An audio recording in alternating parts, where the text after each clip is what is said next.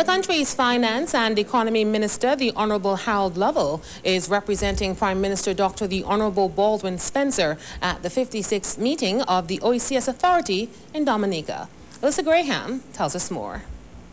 Among the agenda items discussed at the meeting is the application by Martinique seeking associate membership of the OECS, which the authority is favorably disposed to granting.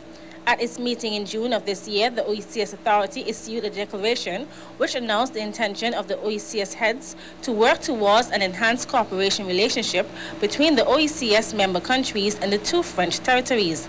This also includes possible associate membership of the OECS for the two French Antillean territories.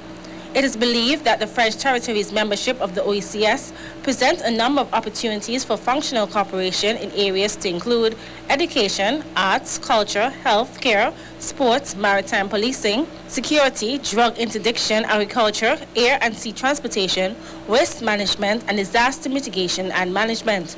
Other items on the table at the two-day meeting include the establishment of the Economic Affairs Council, sustainable financing for the OECS Secretariat, the revised Treaty of Basseterre and its place in the revised Treaty of Chaguaramas, and the ECTEL and observer status as proposed by Antigua and Barbuda and Montserrat. Minister Lovell will also join his OECS authority heads in a closed-door caucus session where discussions will center on matters pertaining to the OECS General Assembly based in Antigua and Barbuda and visa matters. For ABS News, Elisa Graham reporting.